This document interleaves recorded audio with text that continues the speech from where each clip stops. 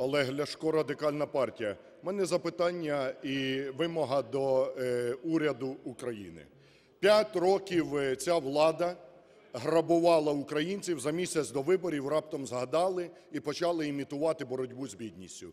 Е, Мамочкам з дітьми додають копійки, пенсіонерам додають копійки, одноразові подачки, які потім після виборів заберуть платіжками вдвічі більшими. У мене запитання до Прем'єр-міністра. Шановний пане Прем'єр-міністр, дайте, будь ласка, відповідь е, жительці міста Сум Роєнко Людмилі Іванівні, яка інвалід першої групи, спинальниця в колясці, вже 10 років після ДТП. Вона мені написала, вчора я отримав її лист, пенсія 1497 гривень. Нічого не додали, ні копійки не додали. Значить, потребує тільки на дві е, упаковки памперсів, які не оплачують з державного бюджету.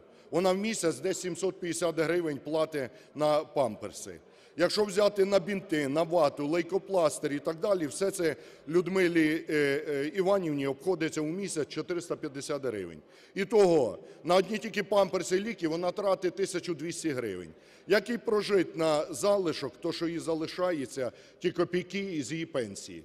Я вам наведу інший випадок. Інвалід першої групи е, е, е, пані Євгенія із села Заруддя з Бараського району Тернопільської області, 72 роки. Я пару днів тому був у неї вдома.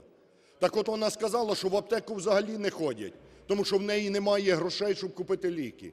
1900 гривень свою пенсію тратять виключно на газ. Тримають двоє корів у селі, яких не годують і все віддає за газ, на ліки вже нічого не залишається. Влада, Президент Порошенко, ви всі розказуєте, як ви людям допомагаєте, як вони щасливо при вас е, почали жити. Розкажіть Людмилі Роєнко із Сум, як їй прожити на 1497 гривень пенсії.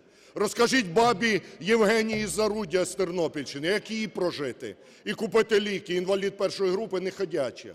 Тому, коли ви сьогодні всі розказуєте, що ви підняли пенсії, підняли зарплати, це обман. Немає нічого реального. Реально люди живуть дуже бідно. Реальні мільйони українців виїжджають за кордон, бо їм немає де тут працювати і заробляти. Реально вони бачать півтора мільярди гривень премії, які виплатило собі керівництво Нафтогазу, Коболєв.